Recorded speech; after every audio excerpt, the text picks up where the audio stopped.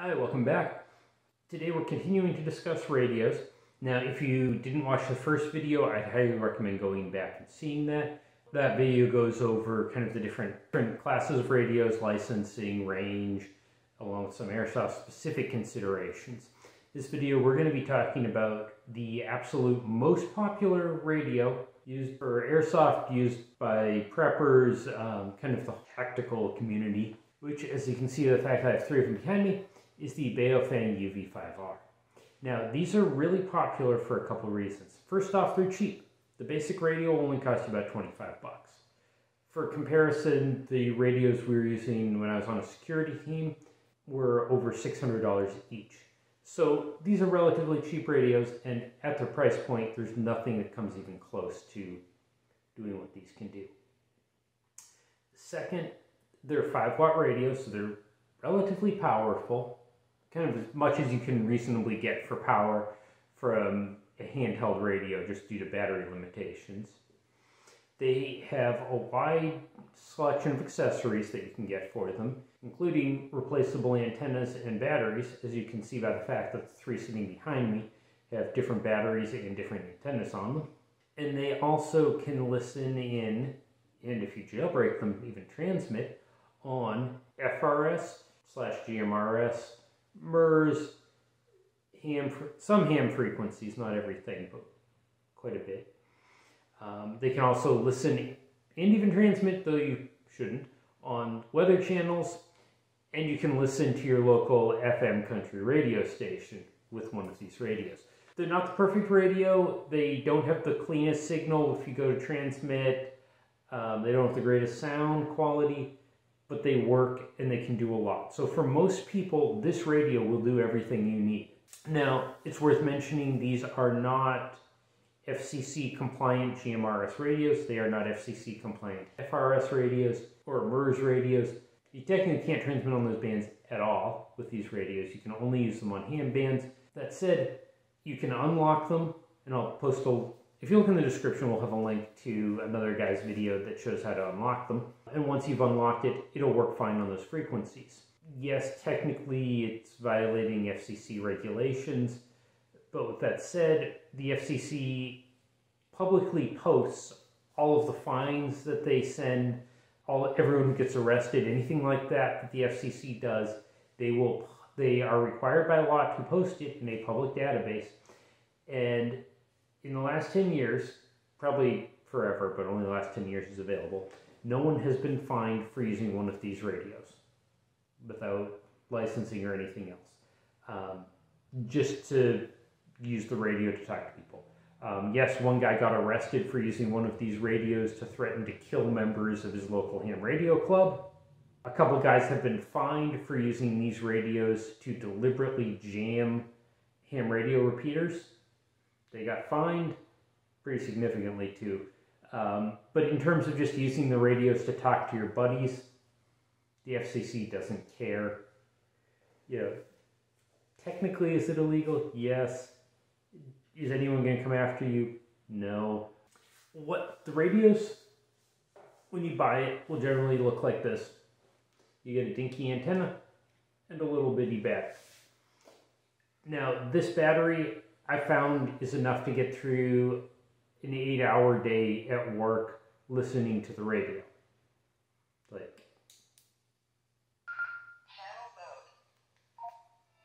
if I'm listening to my local country radio station at work, which is the main thing I actually use these radios for, it'll get me through a day at work.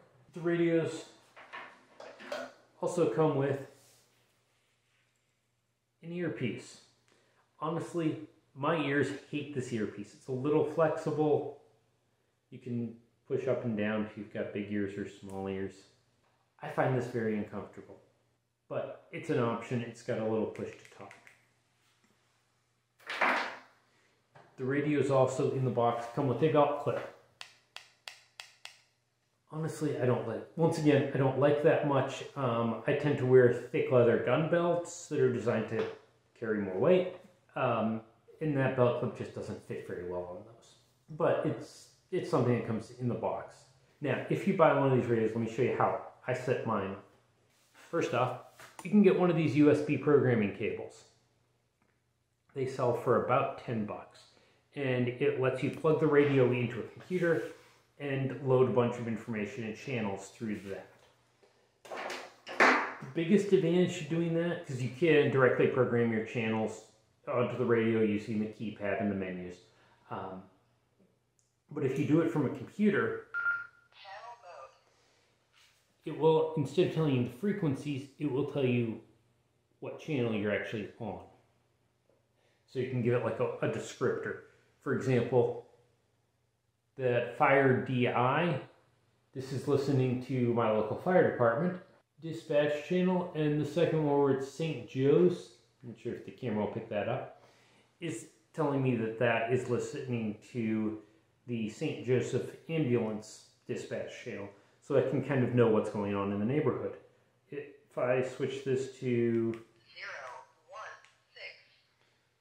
1 6, I can see I've got that bottom channel is FRS 16. So I can easily remember what I programmed onto the radio. And to do that, you need to hook them up to a computer. The next thing I'd recommend is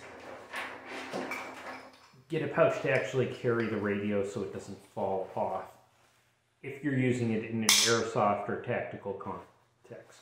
Now, there are several manufacturers that make pouches dedicated for these. What I personally prefer is a surplus flashbang pouch. This is designed to hold a flashbang grenade, but I can just take my flashbang pouch, drop my radio in, and yeah, it fits actually fits pretty well. And on the back, this only takes one column of MOLLE. A lot of the aftermarket pouches I've seen, they're generally two columns of MOLLE. So I like these surplus pouches, and you can get them in multicam, you can get them in Scorpion V2, you can get them in UCP, you can get them in Coyote Brown. I've seen them as cheap as $3. Usually they go for about 10 to 15 depending on color. So hit up eBay, you can find a good pouch. One other thing I'd recommend here that the radios I use have is they make an extended battery. So you can see side by side, here's the battery that the radios usually come with and the extended battery. Now, the main reason I like the extended battery isn't the longer runtime, which I'm sure is nice. I've never run one of these down completely. It simply just fits in my hand better. And I've got small hands. I can't imagine, like, if you're a big guy, this is going to be tiny in your hands. Also, the larger, and I think this is 3800 milliamp hour batteries, have a charging port on the side, so you can charge directly into the battery without needing the docking station. Another thing I like on these radios that I set them up with is replacing the built-in antenna with a Nagoya NA701 antenna. This doesn't actually increase the range, it just makes the transmissions much clearer, at least in my testing. I like the short antennas. They make a longer 771 antenna, which is a longer length. And I couldn't tell the difference in any of my tests between the two. Um, so I just go with the shorter antenna so it's not banging you in the face when you have this connected to a pouch. Now, I've seen some people will clip the radio directly into their MOLLE using belt clip and just let anybody around hear what comes out of the speaker.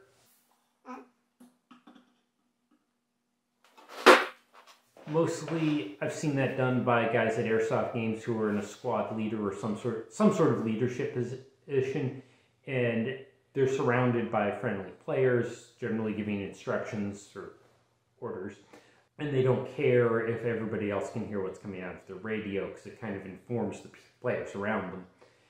If you're doing sneaky stuff, though, you kind of don't want your radio to randomly blurt out your position and tell everyone where you are because someone transmitted. These nicely have a couple of plugs for your microphone, push to talk, and, and speaker or headset. Kind of annoyingly, you've got you'll notice you've got two different size plugs there. There's a 3.5 millimeter plug, which is kind of an industry standard in audio. My, my phone has a 3.5 millimeter plug. My laptop has a 3.5 millimeter plug. My wife's laptop has 3.5 millimeter plugs. Most things use those. Unfortunately, with these Baofeng radios, the audio output that you would need to connect your speakers to is on the 2.5 millimeter, not the 3.5 millimeter plug. Somebody out there probably makes a cable that's 2.5 millimeter on one end and 3.5 millimeter on the other that's an appropriate length and is kind of coily so it would work well. I've yet to find one. If you happen to know of one, leave a comment and be curious to try it. What I'll usually do Oh, what a mess. What I do is I'll get this, I've got this Baofeng shoulder microphone. It's got a clip on the back so I can clip it up to a MOLLE or a shoulder strap, something like that. Um, you generally want to put this on your off side so like my right side, I'm right-handed, my right shoulder is clear for a rifle stock with nothing interfering there. And on my left shoulder, I can put my microphone. It's got a push to talk here, so you can potentially transmit without having to dig down into your pouch to get your radio. It's got kind of a coily cable, so it's not going to rip out if you move around. This is a genuine Baofeng, and I just wrote, took a Sharpie to cover up the bright white text that said Baofeng, so it's a little better camouflage. It's black, it's not perfect. Anyways, the best thing about them is they have this 3.5 millimeter audio output. So you can plug a cable in to that 3.5 millimeter output and then plug your 3.5 millimeter output into the 3.5 millimeter import on a pair of Howard Leigh Impact Sport headphones. So now you have hearing protection with noise amplification that also is connected up to your radio. So this is how I will run this. I'll put try to put links in the description to all of those different pieces. And I find for playing airsoft, this works great. Pretty much. Oh, and for listening to FM radio, you can turn one of these radios on. Panel mode. Tap the top button on the side. and it's now playing my local country radio station, which is actually the primary thing these things get used for. This sits on my desk every day playing the radio, or playing music when I'm at work. They aren't waterproof, they'll resist light rain, um, they're not shock proof or anything like that, but they work. It's a $20 radio. For $20, it's a good option. And frankly, for airsoft, 90% of the guys you will see on the field who have a radio have one of these. That's it for now. Have a good day.